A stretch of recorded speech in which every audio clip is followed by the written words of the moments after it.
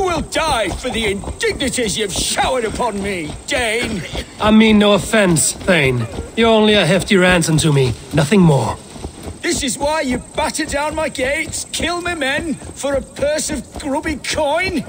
You have no honor. Enough! I'll return you to the Saxons.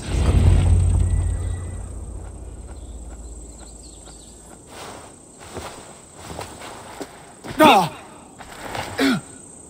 You there, heathens!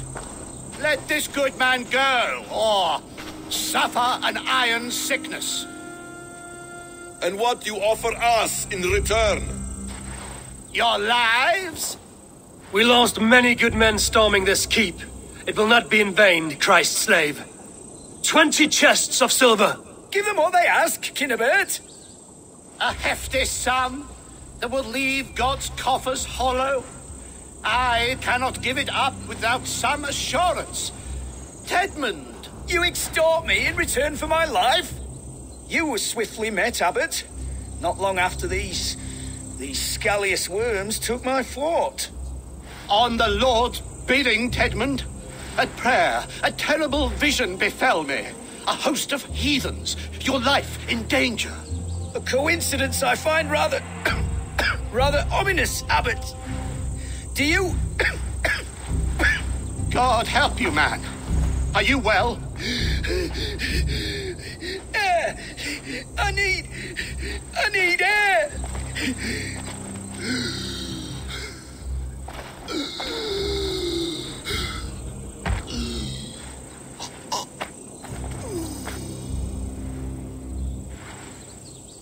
He's dead. The work of poison, no doubt. No, no, no, no, no.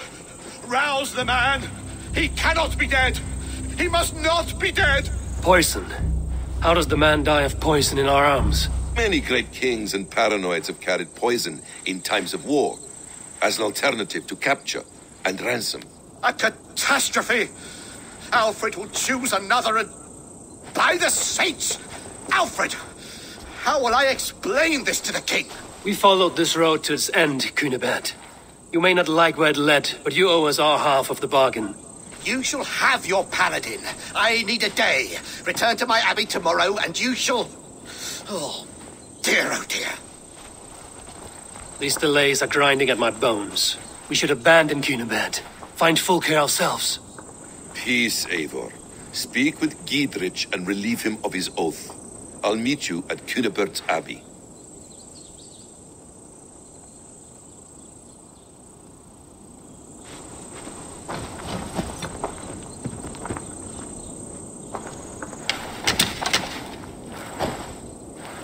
You fought like beasts, escaped from your hell today, Giedrich.